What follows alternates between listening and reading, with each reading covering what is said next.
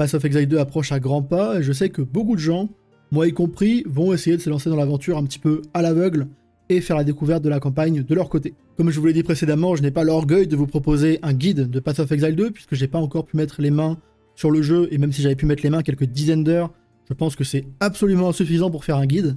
Mais en revanche, j'ai l'avantage d'avoir passé énormément de temps de ma vie sur Path of Exile premier du nom et la bonne nouvelle c'est qu'il y a énormément de systèmes de Path of Exile 1 qui seront à l'identique dans Path of Exile 2 et donc je vais vous proposer ici une liste de conseils vraiment ultra importants. Si vous avez déjà beaucoup joué à Path of Exile 1 probablement que vous serez déjà au courant de pas mal de ces choses-là.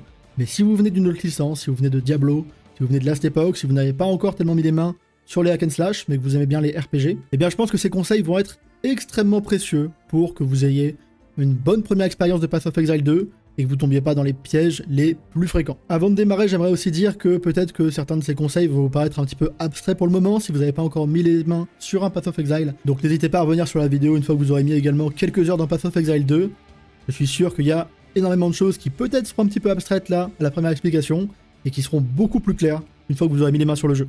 Le premier conseil que j'aimerais vous donner, et honnêtement, si vous ne deviez en retenir qu'un seul, honnêtement, retenez celui-là, c'est sur le calcul des dégâts dans Path of Exile. Il faut savoir que le calcul des dégâts, il repose sur deux règles fondamentales, et si vous comprenez pas ça, vous allez vraiment avoir beaucoup de mal à avoir un personnage qui va être capable de nettoyer les mobs et les boss. Donc dans Path of Exile, les compétences vont prendre la forme de gemmes, des gemmes de compétences. Et donc quand vous allez enchasser la gemme dans votre personnage, vous allez gagner la compétence.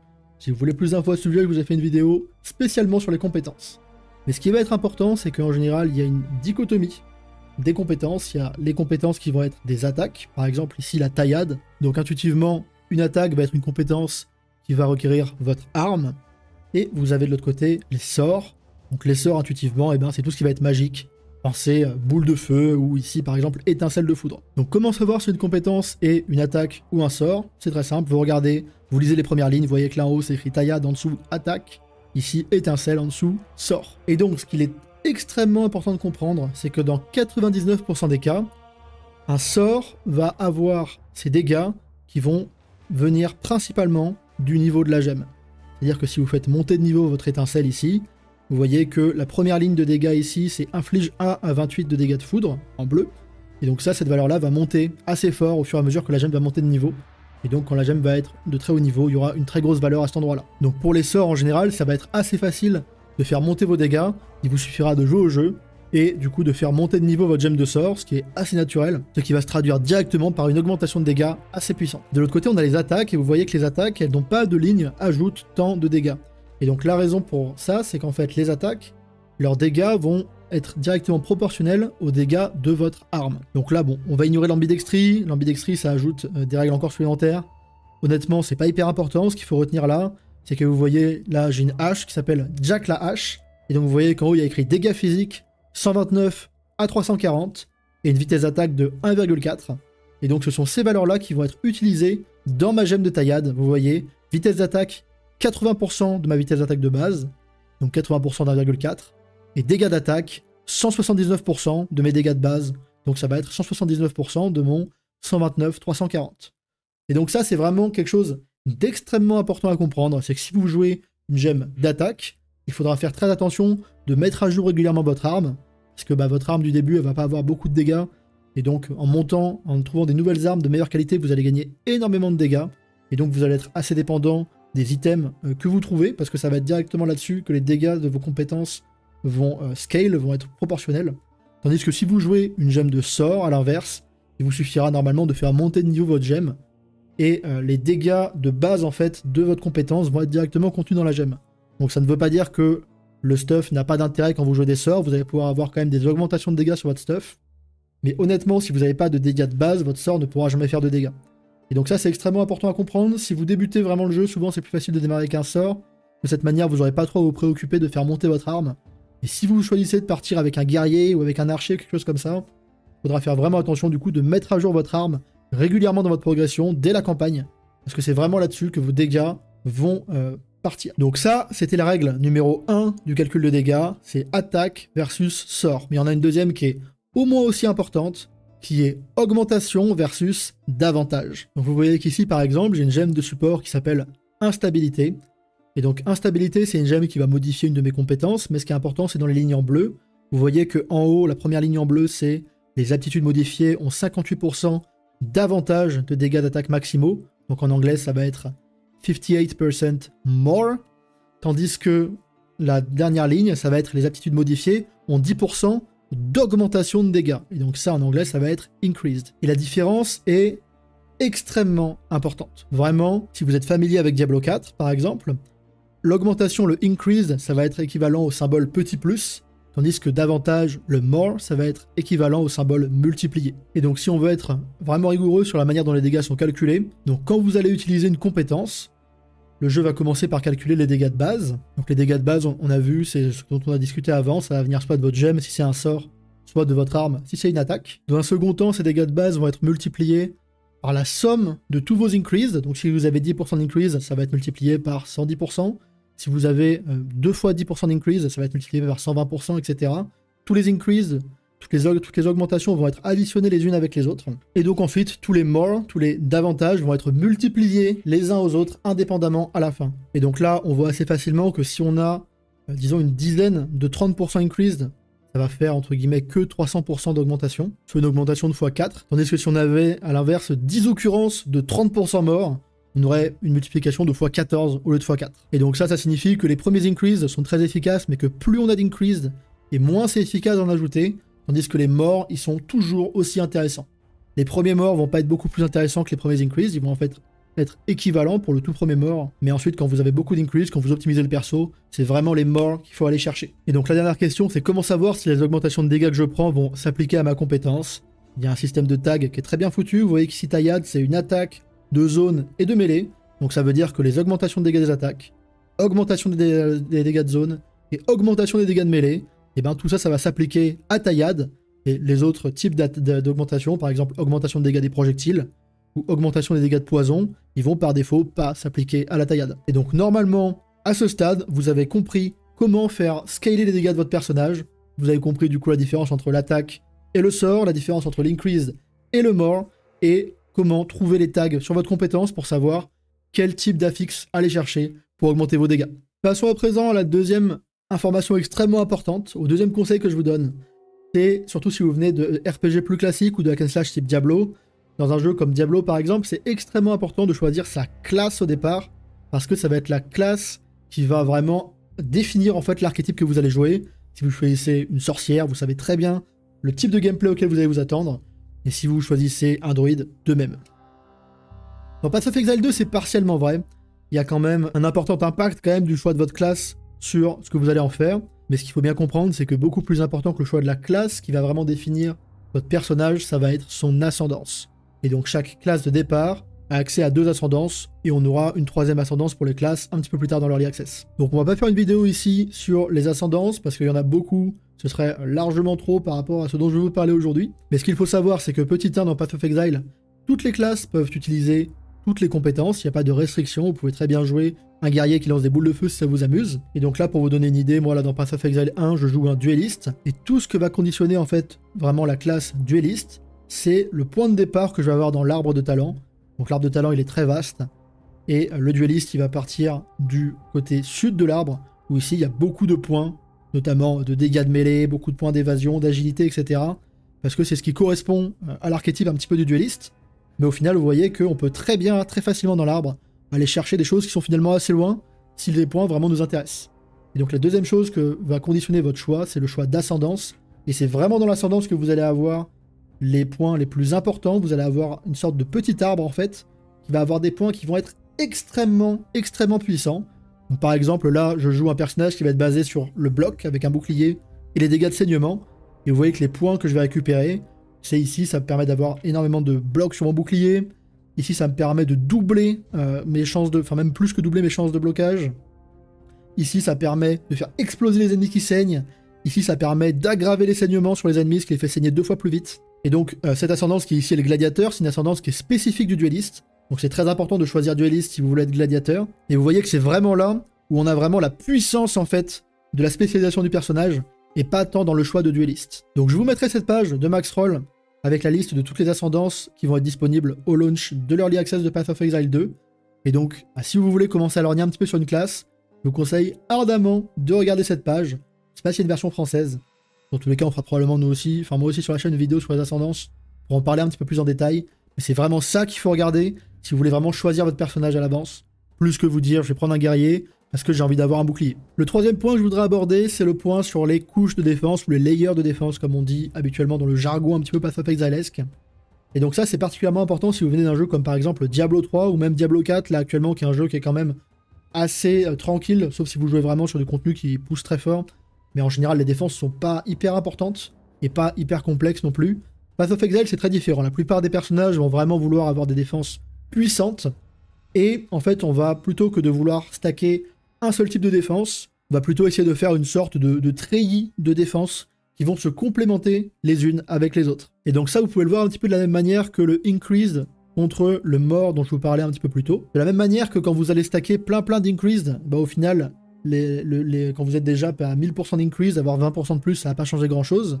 Et ben en fait, on le voit un petit peu pareil dans les layers de défense. C'est-à-dire une fois que vous avez 5000 points de vie, aller chercher 30 points de vie en plus ou 50 points de vie en plus, ça n'a pas beaucoup d'intérêt. Alors que vu que les layers de défense sont en général assez multiplicatifs les uns avec les autres, et ben en fait, vous allez souvent avoir pas mal d'intérêt à aller chercher des layers de défense en plus qui vont directement en fait avoir un effet multiplicatif avec les autres plutôt que de continuer à contribuer dans un où vous êtes déjà bien euh, rempli, bien solide. Donc il y a des exceptions évidemment, il y a des builds qui veulent vraiment stacker un seul layer de défense, mais en règle générale, on va quand même essayer de se diversifier. Donc les layers de défense de Path of Exile 2, je ne connais pas encore exactement leur spécificité, mais je pense que ce sera un système un petit peu similaire, même si le nom et vraiment le fonctionnement des layers de défense peut changer un petit peu, mais pour vous donner une idée, là sur mon perso, vous voyez que j'ai 5000 points de vie, ce qui est une bonne valeur pour Path of Exile. J'ai également des pièces avec de l'armure et de l'évasion pour mitiger les dégâts physiques. Euh, je joue également du bloc, euh, grâce à mon, gladiateur, il va pouvoir bloquer en étant ambidextre énormément d'attaques. On a également une flasque ici, une progénésis, qui va permettre de convertir des dégâts, subis plutôt que de les prendre directement. Ça va plutôt faire dégénérer ma vie. Et vu que je récupère énormément de vie par seconde, c'est comme s'ils étaient euh, annulés. On a également évidemment des résistances élémentaires qui sont extrêmement importantes. Et donc ce qu'il faut comprendre, c'est pas les spécificités exactes de ce perso en particulier, mais c'est plutôt cette philosophie où quand vous allez monter votre build, eh ben, il faut pas négliger, même pendant la campagne, les layers de défense, pas négliger le fait d'aller prendre de la vie quand vous pouvez, d'aller prendre de l'armure, etc. Path of Exile 2, c'est un jeu qui sera probablement assez punitif sur la mort, même en softcore. On a vu par exemple qu'en endgame, eh ben, si vous mourrez dans une map, la map est perdue, il faut aller en faire une autre. Et donc je pense surtout sur les premiers runs, les runs un petit peu découvertes, on découvrira les boss, etc., que ce sera probablement extrêmement important de bien euh, doser les défenses de nos persos. Et bien plus important par exemple qu'un jeu comme Diablo 3, pour le prendre en exemple, de un petit peu de cet archétype de, des hack and slash où les défenses sont finalement assez peu importantes. Parce que de toute façon, vu que vous blastez l'écran entier, les mobs ont pas vraiment de chance de vous euh, faire de mal. Ok, le prochain sujet est très important, surtout si vous, comme moi, vous voulez faire votre propre build dans Path of Exile 2 pour démarrer. Et donc l'idée, c'est que je vous donne quelques clés pour bien comprendre cet arbre de passif. Donc l'arbre de passif de Path of Exile 2 sera différent de celui de Path of Exile 1, il n'y aura pas les mêmes nœuds au même endroit. Mais par contre, les grandes euh, lignes, les grandes règles, entre guillemets, pour bien le comprendre et bien naviguer dedans, resteront a priori les mêmes. Donc dans cet arbre de passif, on va distinguer, euh, je dirais bien, 4 voire 5 types de points. On va tout d'abord avoir les petits passifs d'attributs. Donc les petits passifs d'attributs, comme leur nom l'indique, ils vont vous donner un petit peu d'une stat, donc une des trois stats du jeu. Et en général, ces points-là, en fait, on va les considérer un petit peu comme les autoroutes de l'arbre de passif. C'est-à-dire que vous voyez qu'on va les prendre pour se déplacer extrêmement vite d'une partie de l'arbre à l'autre. Et donc en fait ces petits points sont vraiment assez importants parce que c'est vraiment en fait le squelette de notre arbre de passif final. Parce qu'en général si vous voulez euh, euh, aller d'un point A à un point B dans l'arbre de passif, ce sera en général beaucoup plus efficace en termes de nombre de points dépensés d'y aller via ces petits points d'attribut plutôt que d'y aller via des points de passif qui ont plus d'effet. Donc en plus de ça, ces points-là ne sont pas sous-estimés parce que les attributs, c'est pas des statistiques mortes. Vous voyez, donc je sais pas si ce sera exactement pareil dans Path of Exile 2 en termes de ce que ça nous donne mais euh, chaque passif euh, nous donne des stats en fait. Et en plus de ça, on a vu que dans Path of Exile 2, 5 points d'un attribut nous permettent de jouer une gemme de support en plus de la couleur correspondant à cet attribut. Donc, ce sera vraiment important d'aller les prendre.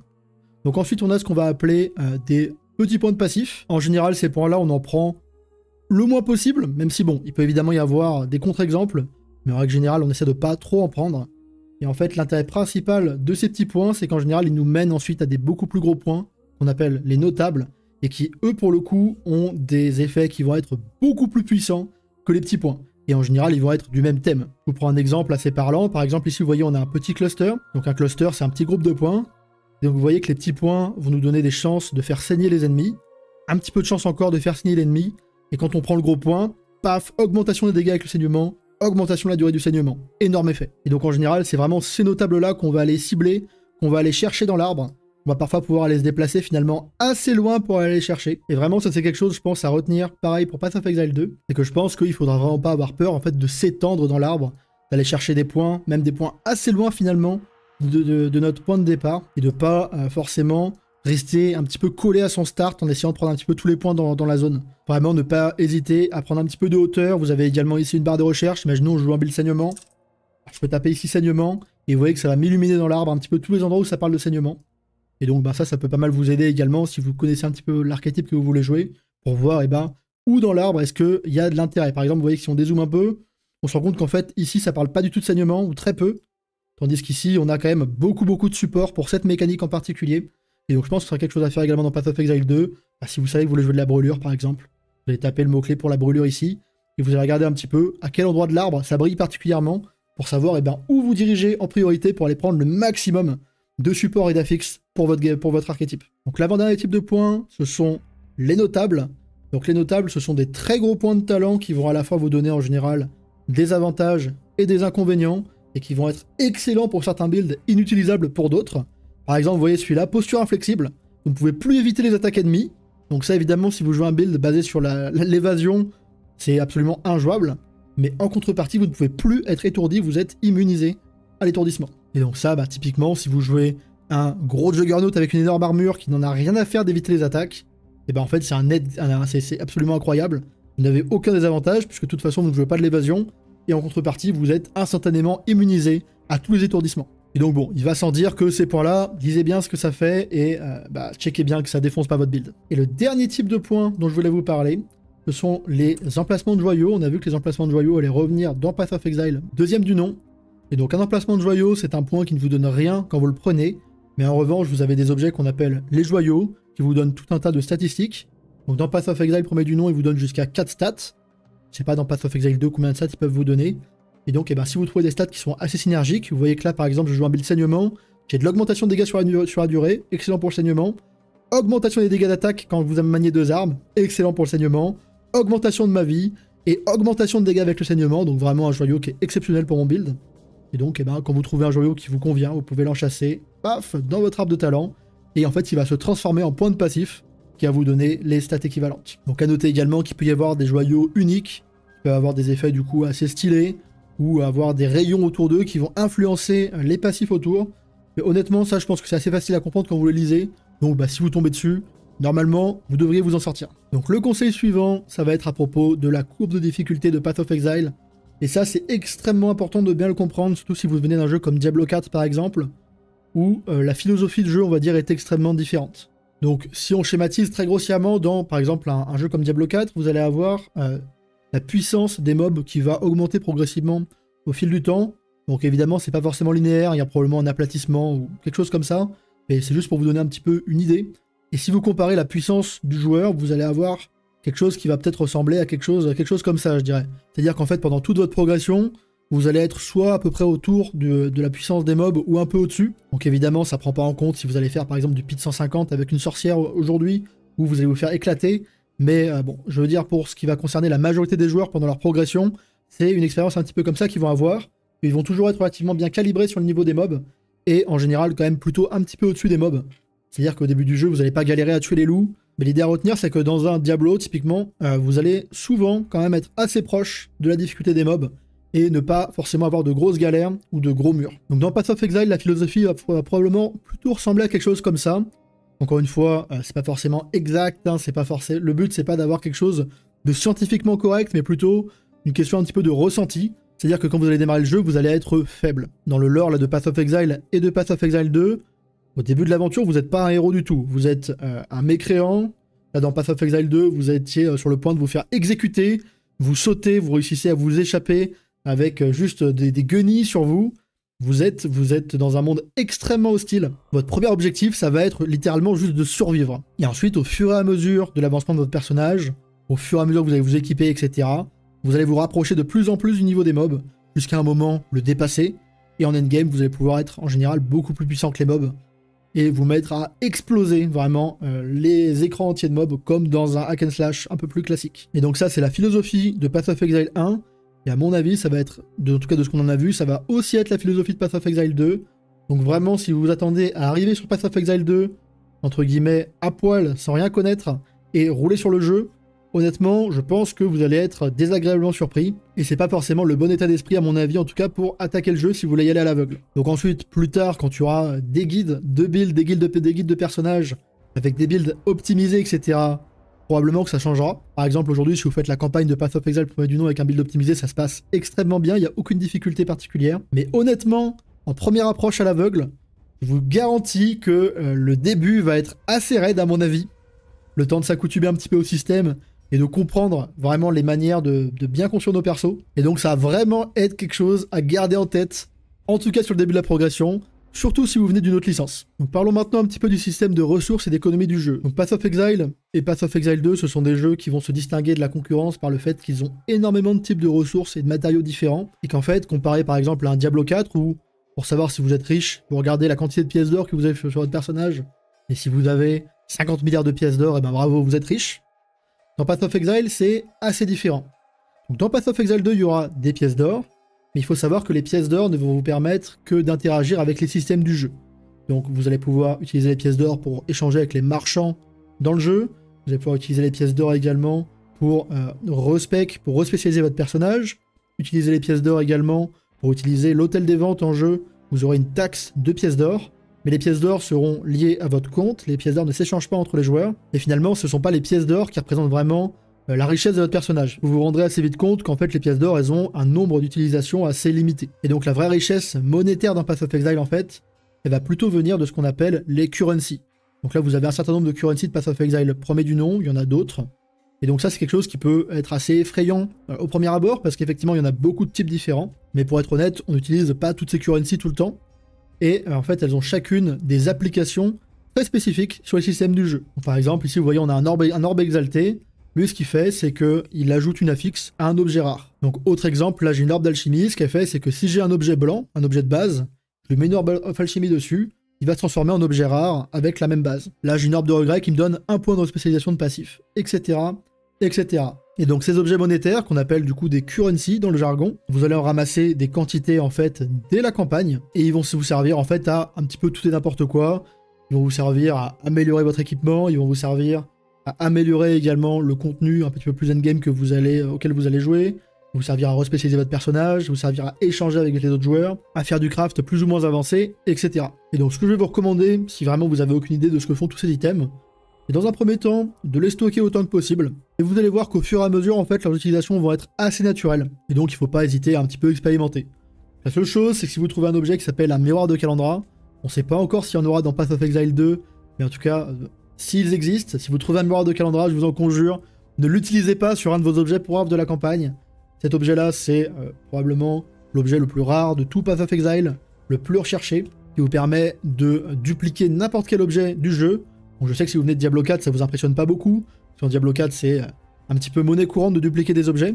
Mais dans Path of Exile, euh, dupliquer des objets, c'est possible uniquement via les miroirs de Calandra. Et donc, ça a une valeur absolument extrême en termes monétaires pour échanger contre du très bel équipement. Donc la chose à retenir, c'est n'hésitez pas à expérimenter avec un petit peu les currency. Par contre, on n'expérimente pas avec les miroirs de Calandra. Et donc, puisqu'on parle un petit peu de valeur monétaire, on peut parler également brièvement du commerce entre les joueurs. Path of Exile, c'est vraiment une licence où le commerce entre les joueurs, c'est un petit peu l'épine dorsale de l'équilibrage du jeu. Il y a un mode du coup SSF sans échange qui a été mis en place un petit peu plus tard, mais le jeu, il a toujours été équilibré dans l'optique des échanges entre les joueurs.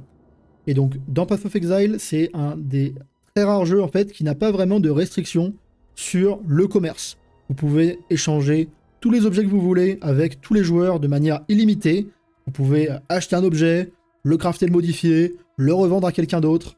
Il vous aurez jamais un truc qui va vous dire ah ça c'est non, ça, ça c'est account bound maintenant. Et donc la seule chose qui sera pas échangeable, ce sera les pièces d'or. Et donc typiquement quand on va échanger avec d'autres joueurs, on va utiliser du coup ces currency comme notre valeur monétaire. Il y a un système vraiment de troc en fait où on a en général quelques types de currency qui sont utilisés de manière quotidienne pour les échanges. Dans Path of Exile 1, ce sont les orbes du chaos, les orbes divins et les miroirs de calendra en général qui sont utilisés pour les échanges. Donc Orbe du Chaos pour les petits échanges, Orbe Divin pour les échanges euh, de beaux objets, et Miroir de Calandra pour les objets vraiment god. Et donc dans Path of Exile 2 sera probablement assez similaire. On aura probablement un système comme ça de 2, 3, 4 currency qu'on utilisera quotidiennement pour échanger entre les joueurs. Et donc pour ce qui est des échanges, on aura a priori euh, deux systèmes. On aura comme premier système un système d'hôtel des ventes pour tous les objets de type ressources. Donc ça, ce sera de la même manière que dans Path of Exile premier du nom. On aura du coup un système automatisé, c'est un véritable hôtel des ventes. Vous listez les objets que vous voulez et à combien vous voulez les vendre et contre quoi. Et quand le système va trouver un matching, il va automatiquement faire l'échange. Si ça vous intéresse, je vous ai fait une vidéo sur le sujet. Et l'autre système, ça va être l'échange en personne. Donc on passera par le site de trade officiel. Tous les liens dont je vous parle sont évidemment soit dans la description, soit en commentaire épinglé. Et donc c'est un système où sur le site on clique sur un petit bouton, ça envoie un chuchotement automatique au joueur qui possède l'objet dont on, dont on a besoin. Et donc ensuite, il n'y a plus qu'à se rendre dans sa planque pour effectuer la transaction. Donc honnêtement, je peux vous parler encore une heure, deux heures, trois heures du commerce dans Path of Exile. Moi, c'est vraiment des sujets qui me passionnent. C'était la raison en fait à la base pour laquelle j'ai lancé cette chaîne YouTube. Si vous remontez en fait à la toute première vidéo, c'était des vidéos en fait sur le trade dans Path of Exile. Donc je vais pas m'éterniser plus que ça là-dessus. Si vous avez des questions, n'hésitez pas en commentaire sur le trade. Mais ce qu'il faut savoir, c'est que euh, l'échange entre les joueurs, c'est quelque chose qui est prévu dans l'équilibrage du jeu, qui se fait par le biais de tous ces objets monétaires, et qui, si vous le maîtrisez, en fait, ça va énormément vous faciliter l'expérience. Donc parlons à présent des mécaniques d'endgame de Path of Exile. Donc Path of Exile, c'est un jeu qui est réputé pour son endgame, et a priori Path of Exile 2 ne fera pas exception. Et si vous venez d'un jeu comme Diablo 4, honnêtement, on sent qu'ils essaient de reprendre un petit peu la philosophie euh, sur Diablo 4, mais qu'ils n'arrivent pas vraiment à l'exécuter aussi bien que dans une licence comme Path of Exile. Mais l'idée, c'est que dans l'endgame, vous allez avoir différentes mécaniques qui vont être assez indépendantes les unes des autres. Donc là, on nous en a annoncé quelques-unes. On nous a annoncé du coup les shrines qui vont être un peu du coup des pylônes, euh, des strongbox qui sont des coffres piégés. On nous a également annoncé euh, les breach qui vont être en gros euh, des cercles qui vont s'élargir dans lesquels il faudra tuer des mobs. Et également le rituel qui va être un événement dans lequel vous allez tuer des mobs, récupérer des ressources et ensuite pouvoir dépenser ces ressources dans le rituel pour récupérer du loot. On nous a également annoncé Delirium où vous avez un brouillard dément qui se répand sur la map et qui transforme les monstres. Et donc il faut avancer suffisamment vite pour ne pas vous retrouver derrière le brouillard. Et euh, bah, au fur et à mesure que vous allez éliminer des monstres, vous allez gagner des récompenses. On nous a annoncé également Expédition. Donc Expédition euh, qui est une mécanique où il y a un site archéologique de fouilles et qu'il vous faut faire du coup détonner les différents objectifs de manière à récupérer du coup des mobs et euh, des coffres. Et donc en fait l'idée derrière ces mécaniques, et principalement les quatre dernières, c'est que chacune d'entre elles va être une sorte en fait de mini-jeu à part entière, qui vont être en fait fondamentalement différents, vraiment mécaniquement dans ce qu'on vous demande de faire, qui vont chacune avoir une progression, c'est-à-dire des rencontres un petit peu communes, qui vont vous débloquer ensuite des rencontres plus complexes, qui vont vous permettre ensuite d'accéder à un contenu type boss, et qui vont vous donner des récompenses exclusives pour votre personnage. Quand je, quand je dis exclusives, c'est des, des récompenses dont vous ne pouvez pas disposer ailleurs dans le jeu. Par exemple, on a vu que euh, Delirium, ça allait nous donner les enchantements d'amulettes. Vous voyez ici, par exemple, j'ai attribut absorption d'essence, qui est donc un enchantement qui me donne un passif quelque part dans l'arbre, même si j'ai pas été le chercher. Et donc, ils nous ont bien, ils nous ont dit que cette mécanique-là serait du coup dans Delirium, et Delirium serait la seule manière de récupérer ce euh, passif spécial sur l'amulette. Et donc, si je peux vous donner un conseil, c'est de vous rappeler ce que je vous ai dit avant, Pass of Exile, c'est une licence qui est articulée autour du commerce entre les joueurs. Donc c'est pas parce que vous, vous ne faites pas une mécanique que vous ne pouvez pas ben juste en fait acheter à un autre joueur les récompenses de cette mécanique.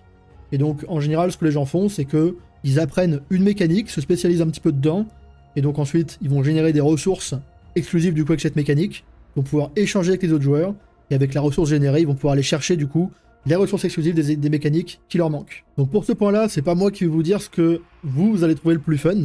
évidemment, ça va dépendre de chacun. Je pense qu'il y a probablement des gens qui vont essayer d'apprendre toutes les mécaniques d'un coup et que ça va beaucoup amuser, de, faire de toucher un petit peu à toutes les mécaniques et d'essayer de tout faire soi-même.